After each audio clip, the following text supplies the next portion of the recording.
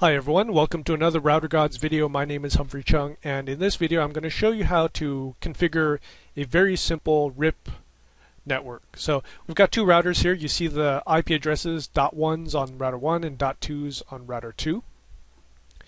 And a dynamic routing protocol, if you're just starting out with your Cisco certifications, it lets us put in networks and it lets us advertise networks so that we don't have to type in static routes everywhere. So we could get full connectivity on this network if we wanted to with just static routing and it would, would wouldn't be too bad because we only have two routers and two loopbacks. But imagine if you had a network with five routers or ten routers or a lot of routers. That's that's a lot of typing for for static routes. And you could do it, and I've heard I've heard rumors. I I don't know if it's true or not, but I've heard rumors of people going into the CCIE lab and just for fun doing all static routing. But you know, I don't know if you want to waste 1,400 bucks these days just to uh, just to get that to work. But what we have here is we've got these two routers, and with RIP we could actually put in a very simple three to four line configuration that will give us full connectivity between everything. So we're going to go on router one.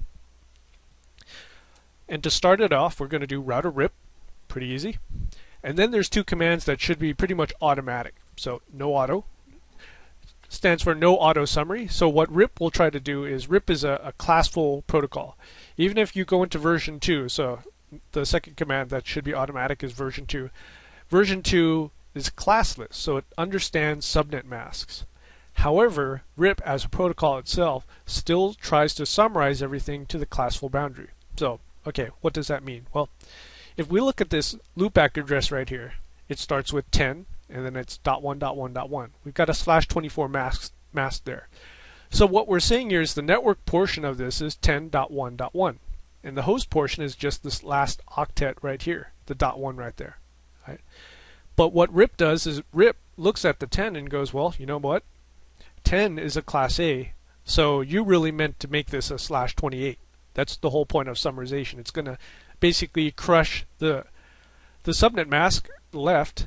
It's going to kill the slash 24, make it a slash 8, and get rid of all your extra information there. Not something you want to happen because it will it will definitely cause you problems depending on your IP addressing scheme. Right? I don't know too many people that are still running 10, you know, with the slash 8 in their networks. So you do router rip, you do no auto version 2, those three commands, those three lines of commands should be pretty much automatic every time you type in uh, router, router rip. So router rip no auto version 2. Right? And then we're going to do a network command that's going to throw all of our interfaces into RIP. So what this is going to do is it's going to start out RIP broadcasts, uh, actually multicast in version 2, and it's going to throw out these multicasts every 30 seconds on a fast Ethernet link. So every 30 seconds it's going to blast out there, and every 30 seconds on loopback 1 it's going to blast out the virtual interface. It's also going to take these two networks and throw them in the routing updates so that router 2, once we start out RIP on router 2, it will then know how to get to the loopback address. So let's try it. There's a cheating way of doing it, and it's network 0000. And what that does is it stands for throw everything into RIP. Like I don't care. Boom. So we've started RIP on router 1. We could verify that with show IP protocols. And we've got some interesting information here. And we'll cover it in the next video. Now I'm going to go into router 2. Move my terminal window over here. So on router 2, conf t, router RIP, no auto, version 2. So on router 2, we're going to use a different network command. Instead of typing in network 0000, which is kind of the cheating way of doing it, here we're going to be a little bit more precise.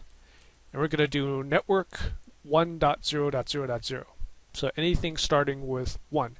Notice I cannot put in a subnet mask. So with RIP, we could do network 1.1.1.2.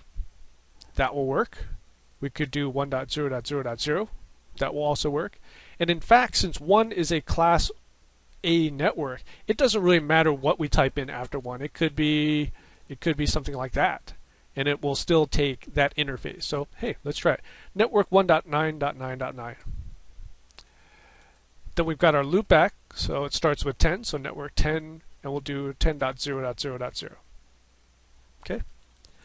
Exit out of there, show IP protocols, and you can see that RIP changes it for us. Even though we typed in 1.9.9.9, it changes it and says, oh, okay, you really meant to type in 1.0.0.0 since it's a class A. And you really meant to type in 10.0.0.0. You know. But if we go back to show run pipe S and RIP, ah, you could see it also fixed it here too. So router RIP version 2, and you can see those two network statements have been cleaned up for you by RIP. Okay, let's see what's in our routing table. Show IP route. And you can see we now have a R route, a RIP route, that goes to router 1's loopback, and we can ping it. Boom. Okay, so this R route came from router 1, and this is updated to us every 30 seconds, whether we like it or not.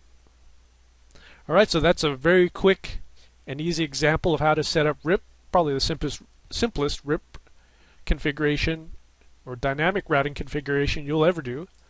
Let me just show you the commands that you typed in. Show run pipe S for section RIP.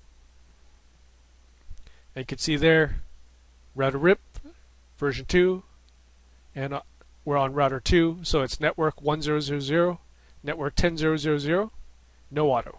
It's pretty easy.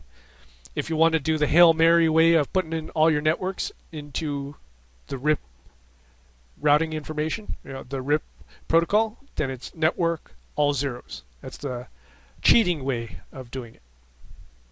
All right, well, thanks for watching. In the next video, we're going to go over what the show IP protocols information is for RIP. Thanks for watching.